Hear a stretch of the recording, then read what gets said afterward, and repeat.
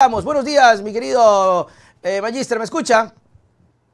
Hola, muy buen día, señor Nelson, un gusto saludarlo. Gracias, estamos ya en vivo y en directo, ¿ah? lo estamos escuchando, lo estamos viendo. Gracias por estar con nosotros, director del Instituto de Ciencias Políticas de la UTEG. Importante conversar con usted, mi querido amigo, el estudio que ustedes realizaron. Háblenos sobre estos resultados de este interesante análisis que ustedes hicieron. Bien, gracias en primer lugar pues a, a Nelson y también al programa Hablando Claro por darnos la oportunidad al Instituto de Ciencias Políticas de la Universidad Tecnológica Empresarial de Guayaquil de dirigirnos a esta culta teleaudiencia a nivel nacional. El estudio que hemos realizado se titula Satisfacción Poblacional sobre la gobernanza actual en Ecuador. Este estudio se lo hizo para cerrar propiamente el año 2022 para analizar cómo está o cómo percibe la ciudadanía la gobernanza en el Ecuador. Siendo así, hemos tomado en cuenta 21 provincias. Eh, eh, tenemos una relación, las que no participaron son Carchi, Orellana y Zamora Chinchip. Okay. Eso prácticamente todas para que tenga un radio amplio de, de, efectividad, ¿no? Dentro de ellas, por ejemplo, hemos visto que mm, un punto muy importante que es testiga a la ciudadanía, sin necesidad inclusive de hacer un estudio, nos damos cuenta que la inseguridad ciudadana sigue en auge, no ha bajado. Uh -huh. Y nos da una data de que un 95.3% indica de la ciudadanía que la delincuencia todavía sigue en aumento, ¿no? Y tan solo un 3.2% indican que no ha aumentado y que ha aumentado, eh, que ha disminuido un 1.5%. Okay. Esa relación lleva, lleva a muchas otras cosas uh, que desmerecen propiamente de la gobernanza, ¿no? Una de ellas, ¿no? Otra, por ejemplo, está eh, el, el tema de la inseguridad lleva también a hacernos una um, interrogante sobre la posibilidad que la ciudadanía empiece a portar armas. Básicamente la pregunta va dirigida, va dirigida a que sea este porte de armas bajo un estricto control. La ciudadanía responde que están de acuerdo en que la empiecen a portar armas la ciudadanía para cuidar a su familia y cuidarse a sí mismo, cuidar sus negocios, en un 58.3%, mientras que el 41.7% eh, no, no están de acuerdo en que se porte la sangre. O sea, está la, o sea la gente sí estaría de acuerdo en usar armas. La gente está de acuerdo en portar armas, pero bajo un estricto control. Realmente tiene que darse los permisos adecuados y bajo también el control de, a lo mejor psicológico, quienes pueden hacerlo, todo eso. Aquí pero lo tengo. Sí están, están en acuerdo, ¿no? Estaba buscando, mi querido Gorky, porque tengo acá el, el, estudio que usted me mandó y lo estoy poniendo, lo estoy graficando. Entonces ya, ya encontré precisamente esa partecita que usted nos está diciendo. Y aquí está, ¿no? Está de acuerdo en que bajo un control técnico la gente pueda utilizar armas. Y efectivamente, ¿no? Estoy de acuerdo. Eh, el, el 58% y el 41% no estoy de acuerdo. Bueno, lo que la gente percibe, ¿no? Esto es un, un análisis que ustedes han, han tomado, aunque bueno, a criterios personales, ¿verdad? Eh, me, me, parecería un poco peligroso. Pero bueno, allá eh, eh, de eso se trata los estudios, ¿no? Sí, lógicamente puede desenfrenar una relación de que prácticamente a lo mejor a futuro se empiece a falsificar permisos, qué sé claro. yo. Puede ser, ¿no? Como bien lo indica. Pero la ciudadanía percibe porque tiene una una desesperación prácticamente en ver de que no hay un cuidado para sí, para las familias, para sus negocios, forma de comercio. Uh -huh. Hay sicariatos, hay asesinatos, entonces creen que en este momento sería factible, en más del, del 50%, de que podamos portar armas para autodefendernos. Ok, usted está viendo el mismo informe que yo tengo, Gorky, como para seguirle el ritmo, porque mientras usted nos dice, yo voy mostrando. Ah, sí, sí, yo tengo aquí mis anotaciones. Ok, entonces, ¿qué punto, nos, qué punto sigue luego del tema del porte de armas? Bien, eh, en relación a, a, la gobernanza también tomamos en cuenta la canasta básica. Okay. Preguntamos a la ciudadanía, durante este gobierno, usted observa que los precios de la canasta básica nos indica el 91%, eh, indica que ha subido prácticamente, ¿no? Y solamente un 8% nos indica que ni ha subido ni ha bajado, y un 1% indica que ha bajado. Aquí está. Entonces, en esta relación, el año 2022 cierra con una canasta básica sumamente alta y propiamente diciembre, en una temporada que fue pues de esta festividad de la cena navideña, del año nuevo, eh, percibió inclusive un gasto excesivo en lo que significa, eh, perdón, un, alto costo eh, en los precios prácticamente para cerrar el año, ¿no? Ajá, aquí vemos la gráfica, la mayoría de la gente obviamente percibe que todo ha subido y creo que eso es bastante evidente. Bien, es importante también tomar en cuenta el tema del trabajo. Okay. tenemos una canasta básica alta. Así es. Lógicamente tendría que haber también eh, la, consecuencia eh, que haya trabajo para todas las, familias. Pero al preguntársele a la ciudadanía en cuanto a la economía del país, usted observa que ha aumentado las posibilidades de trabajo en este gobierno, nos indica que el 77% no ha aumentado. El, ahí está. el 17% indica que ni ha aumentado ni ha bajado y el 6% indica que se ha aumentado. Que se ha aumentado. en esta relación. claro. Sí, adelante. Interesante porque eh, solamente es una pequeña porción de personas que dicen que ha aumentado. Habrá, eh, no sé si se puede saber eh, si ese porcentaje depende o, quiere ver o, se determina de un sector específico. Pero la gran mayoría, y no solamente la gran mayoría opina del 77% que estamos viendo, que no hay aumento de trabajo, sino que ni ha aumentado ni ha bajado, hay un estancamiento con un 17%. Hay una situación de ánimo muy baja eh, según este resultado, Gorky. Sí, en la relación correlacional, eh, el 77% es un alto índice que puede de alguna manera desenfocar lo que la, una minoría indique, ¿no? Claro, por supuesto. La mayoría de la población está prácticamente sin trabajo, está indicando que no ha subido el trabajo. Entonces, entendiéndose que a lo mejor en una familia puede ser el padre de familia que esté trabajando o la madre de familia, pero el resto de, las personas que viven en ese hogar, a lo, mejor son, a lo mejor ya son hijos mayores, por ejemplo, están educando y todo eso, necesitan también trabajo. Entonces, vemos esa relación que la canasta básica y con el, eh, la falta de desempleo prácticamente deteriora la gobernanza y la, la, actividad de desarrollo productivo dentro del país. ¿no? Y, directamente, Gorky, perdón que te interrumpa, también aumenta la inseguridad, es decir, no hay trabajo, canasta básica arriba y luego también empieza, porque eh, hay dos temas con la inseguridad, ¿no? la delincuencia común y la delincuencia organizada. Y si alguien no está con, no, no quiero justificar tampoco, pero es una realidad, no podemos tapar la realidad. A falta de oportunidades la gente se desespera.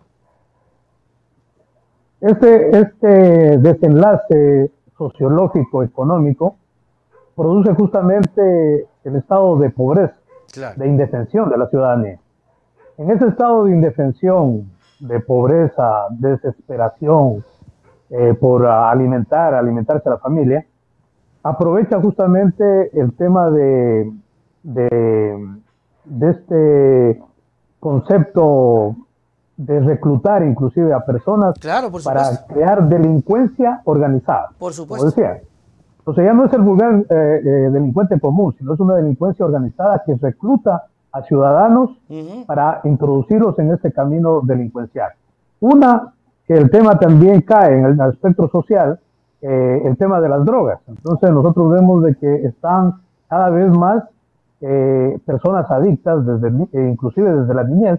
Teníamos reportes anteriores de que había niños, jóvenes y adultos dentro de este ámbito de las drogas, de la adicción. Entonces, se, vuelve un estado clientelar y al no tener, por ejemplo, para pagar este, esta droga, se incrustan también dentro de este sistema de, organización delincuencial y se crean las escuelas de sicariatos. Terrible. Entonces, prácticamente es organizado, todo es organizado, merece. Entonces hay que tener mucho cuidado en el tema de que escuchaba yo eh, el tema de una propuesta de un candidato a prefecto, de que se puede de alguna manera tener un negocio de la venta de marihuana. Legalizar, sí, era Vanegas. Estamos apuntando a que se creen negocios en vez de quitar o, crear, sanear a la población. O sea, no nos importa ya que la, la población haya quedado en un estado eh, de problema de salud, como lo reza la Constitución de la República del Ecuador, porque la drogadicción, prácticamente la adicción es problemas de salud. Totalmente. tiene que atender el Estado en primer término. Y no lo está haciendo y no lo viene haciendo desde mucho tiempo atrás. No tiene, digamos, clínicas de rehabilitación y cosas parecidas. Los municipios ah, tendrían que tener eh, en su espectro eh, el tema de salud, eh, generar prácticamente ese tipo de clínicas, pero no hay. Entonces hay que tener mucho cuidado en este tema que prácticamente está generando un negocio y este negocio puede ser prácticamente legal, pero no quitamos el tema del, del problema en sí, que es la, la adicción en la ciudadanía. Ok. ¿Qué otro punto tenemos dentro del estudio, Gorky, para buscarlo y presentarlo a la audiencia? En este momento las elecciones prácticamente. Y tenemos el punto 9, que es sobre la consulta popular. Perfecto. Punto 9. Bien, la consulta popular, nosotros un estudio lo habíamos realizado en agosto, hace tiempo atrás, y en agosto preguntábamos también a la ciudadanía si está de acuerdo que se llame una consulta popular. Y nos contestaban en aquel entonces, en agosto, que el 52.7% que sí estaba de acuerdo, mientras que un 47% no estaba de acuerdo. Hoy, que ya el presidente Lazo eh, ya proclamó incluso está en campaña de la, de la consulta popular, estamos hablando de diciembre, ¿no es cierto?, para empezar de diciembre del, del año anterior, nos dice la ciudadanía si está de acuerdo en la consulta popular, el 57.3% nos indica que no, no está de acuerdo contra esa consulta popular. Y el 42.7% dice que sí está de acuerdo. O sea, cambiaron los papeles al enterarse ya propiamente. Ok. Es importante tomar en cuenta que hay una tendencia, hay una tendencia porque este estudio se lo hizo cuando todavía no había una campaña electoral Hoy en este momento ya existe una campaña electoral. Lógicamente va a haber partidos, organizaciones sociales que se inscribieron para hacer esa campaña y de hecho hay partidos que están de acuerdo y en contra de la consulta. Entonces, si tenemos ya un 57.3% en contra de, eh, o, en contra de la consulta popular, este puede ser que vaya subiendo. Por eso es importante, para cualquiera de los dos sectores, es importante que se vaya denotando y se haga campaña por cada una de las preguntas y se informe especialmente a la ciudadanía, ¿no? Para que ellos escojan por cada una de las preguntas y no sea una tendencia que prácticamente en estos momentos se está dando eh, estructural y sociológicamente, que la tendencia es para votar sobre la gestión del presidente, más no por el interés interno de cada una de las preguntas. Votaré, no, votaré en contra. Entonces, si, se relaciona de esa manera, prácticamente tendríamos una ganancia a futuro del no, porque la tendencia del presidente está muy baja. Claro. Y dentro de ese estudio tenemos nosotros también la tendencia hasta el 2022, eh, la gestión, cómo está calificada. Entonces, si hasta ahí no tengo ninguna pregunta. Sí, sí, sí, eh, por supuesto, mi querido Gorky, antes de ir a, ese tema.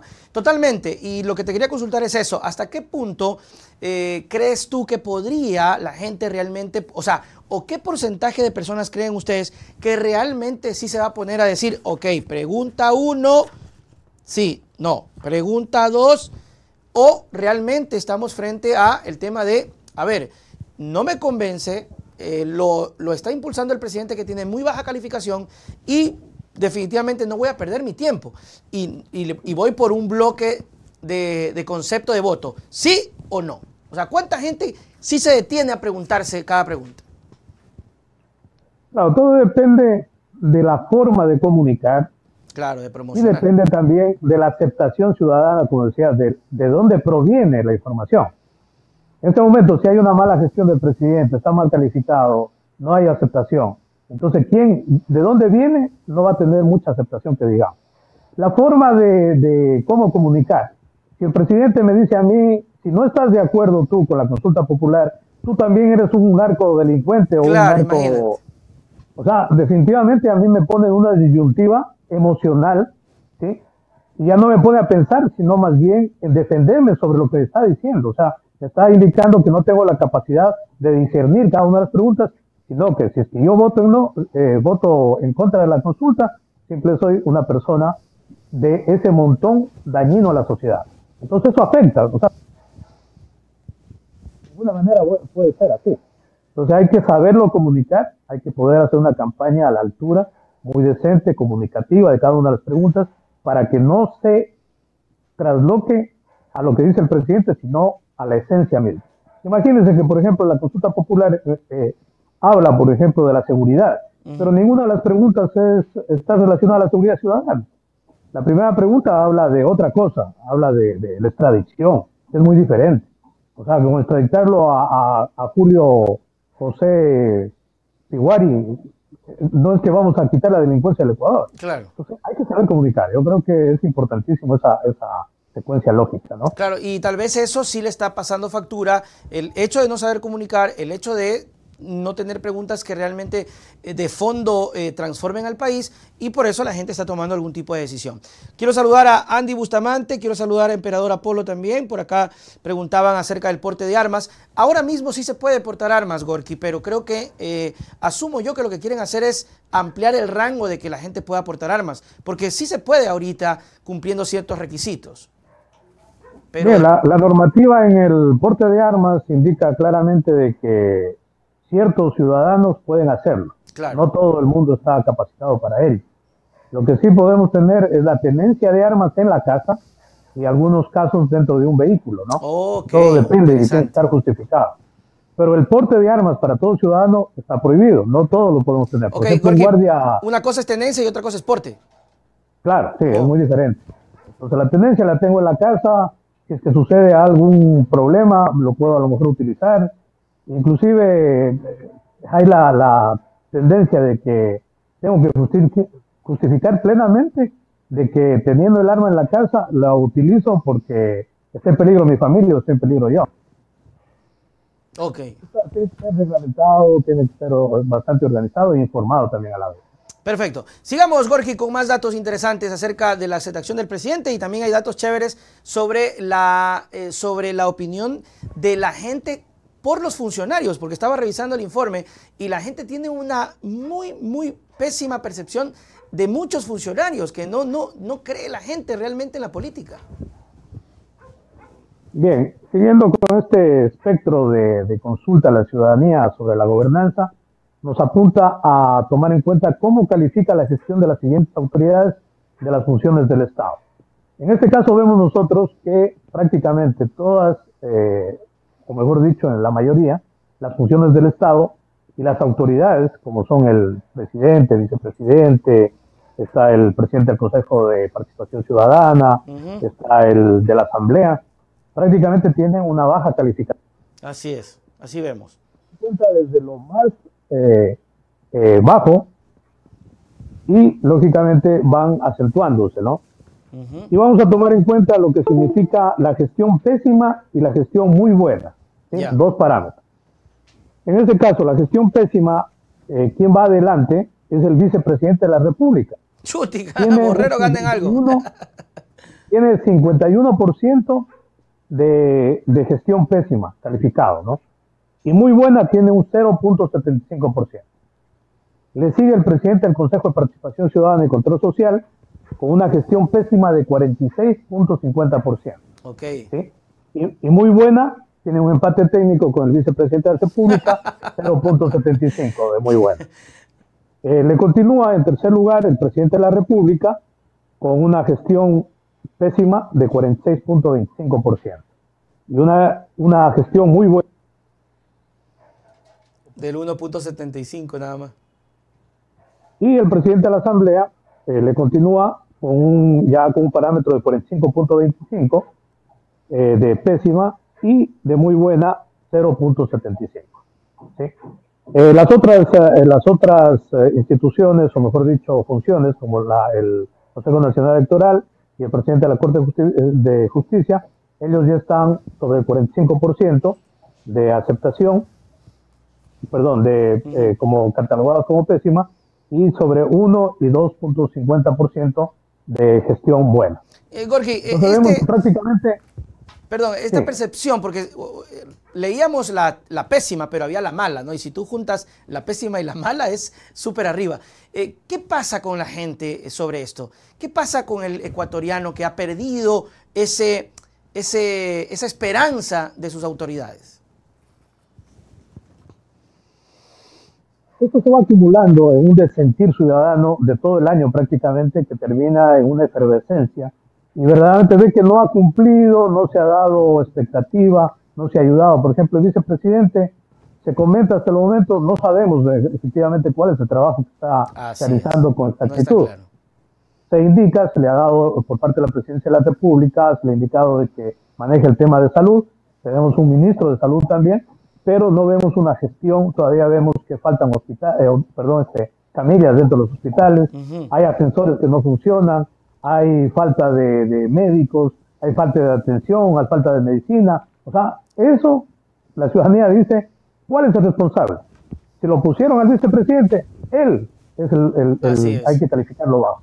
Entonces todo marca, digamos, una, eh, una situación eh, contundente en cuanto a la gestión de la autoridad competente se merece la sanción por parte de la ciudadanía, que lo califica de esa manera, ¿no? ¿Qué otros datos eh, podríamos destacar del informe, Gorky? Bien, otro, otro de los datos, eh, también igual en esta, en esta situación de la mala gestión, tenemos a las autoridades de, de los diferentes estamentos del gobierno y asimismo, eh, para no alargar el, el, tema, ¿no es cierto? Tenemos, por ejemplo, que la comandancia de policía o el comandante de policía tiene la gestión pésima calificado con un 40%. Ahí está, sí. Y muy buena, un 3%. Y se preguntarán, ¿pero por qué? Si están ayudando a la ciudadanía. La ciudadanía se da cuenta que correlaciona directamente con la seguridad ciudadana. Totalmente. ¿Quién es el, encargado o los encargados de cuidar a la población ecuatoriana dentro de los parámetros constitucionales? La policía. ¿Y quién comanda la policía? Justamente el comandante de policía. Entonces, ¿a quién le dicen que está funcionando mal? A la policía, claro. Eh, eh, tenemos en cuenta el TERI. Y así tenemos la misma situación con el presidente de la Corte Constitucional, eh, tenemos el, fiscal general, tenemos el defensor del pueblo, el contador general, el procurador general, el, mismo general de las Fuerzas Armadas y el presidente del Consejo de la Judicatura, que tienen entre un 36 hasta un 31.50%. No se sabe gestión pésima. Oiga, Prácticamente la ciudadanía está eh, hastiada, podríamos decirlo así, con ese, ese, ese punto, digamos, de, de catalogarlo de una gestión buena o mala o pésima, prácticamente la ciudadanía no cree, no siente que está respaldada por las instituciones del Estado. Y esto de acá, Gorky, también tiene relación a que eh, todo esto pasa por peleas, es decir, la gente dice, bueno, y esta gente se la pasa peleando, peleando, pugnas, mete la mano por aquí, mete la mano por allá, y no hay una cosa, una, un sentir del ciudadano que realmente diga, oiga, qué buena la fiscalía, oiga, qué bueno, porque a, la final son instituciones muy duras eh, de calificar, igual que la asamblea, ¿no? La asamblea es como que saque buena calificación, es, es fregado, pero hay un desazón muy, muy profundo del ecuatoriano y eso es peligroso, Gorky. Ah, por ejemplo, iniciamos uh, nosotros con el tema del gobierno de, del presidente Lazo, que venía arrastrando un problema legal, por ejemplo, eh, del expresidente Lenín Moreno, en la situación de ENA Paper, por ejemplo. Claro. Y ha pasado un buen tiempo, y ha pasado un año eh, prácticamente de gobierno nuevo, ya no el mismo, eh, y vemos que todavía no hay una actuación por parte de los órganos legales para que se sancione todas estas situaciones. Y eso por poner un ejemplo. Entonces hay otros, muchos más de corrupción. Y dentro de los estudios también que se toma en cuenta, eh, siempre aparece el tema corrupción. Y la corrupción es el camino para, para todo el contorno de la gobernanza nacional. Entonces, si no vamos controlando esto, la ciudadanía tiene un hastío presente cada momento. Dice, no solucionan esto, se habla de corrupción, no hacen nada se pelea, como bien dice usted, eh, el Ejecutivo con Legislativo, no se pronuncian con leyes específicas y que ayuden a la ciudadanía en tiempo de crisis económica, social y política. Entonces, definitivamente, todo el 2022 se presenta en este estudio, ¿no? Un estudio completamente cual y cuantitativo. Eh, es bueno eh, indicar que, por ejemplo, en muchos de los casos, la ciudadanía, por su puño y letra, pone el de sentir. No es que nosotros lo, lo lo intuimos a que esto, esto, sino que ellos mismos indican cierta característica, ¿no? Chévere, chévere. Gorky Aguirre, dígame, dígame, Gorky. Esto lleva justamente al tema electoral que estábamos hablando y vemos que hay un desentir también de indefinición por parte oh, de... sí, cuéntenos. Tenemos, por ejemplo, para, para prefecto nacional, eh, hay un 74.75% de población. Bueno, esto es hasta el 2000 22 que todavía no inició la campaña. Entiendo que en este momento ya haya subido un poco, pero 74.75% hasta la fecha, cerrar diciembre, no tenían decidido por quién votar para prefecto.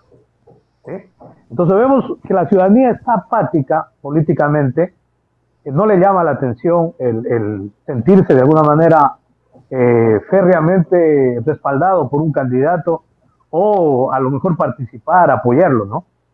Como digo, vamos a ver qué es lo que sucede en estos días, ya de la inicio de la campaña electoral, y a ver si hay un cambio. Por ejemplo, también eh, eh, el tema del Consejo de Participación Ciudadana y Control Social, es muy importante tomar en cuenta. También tiene un 90 y, ay, perdón,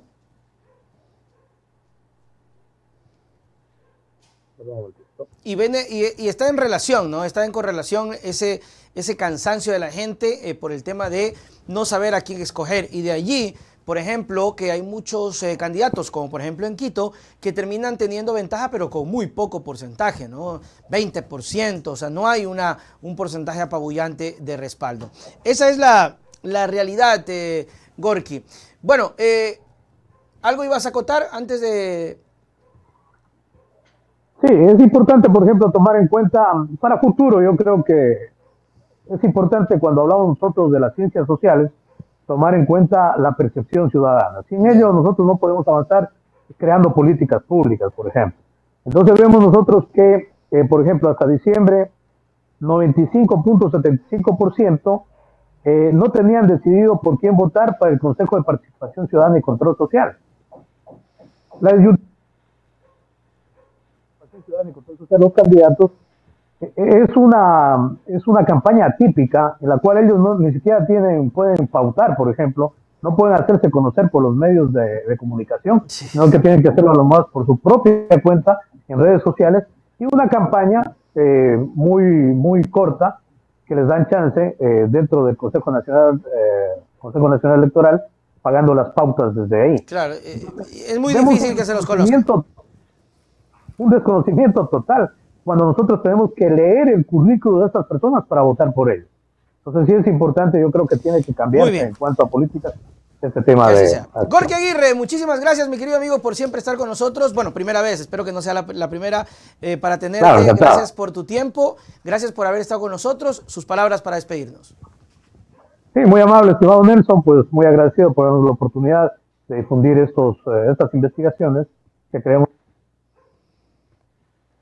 muy importantes para la ciudadanía. Lo que hacemos nosotros es al servicio de la ciudadanía, pues, y queremos enterarlas justamente para que tengan conocimiento y al mismo tiempo decidan y formen un criterio a futuro. Muy, amable, gracias. Chao, chao, nos vemos para la próxima. Hasta la próxima. Muy bien, ahí estuvo Gorky, el Magister Gorky Aguirre en nuestra primera parte.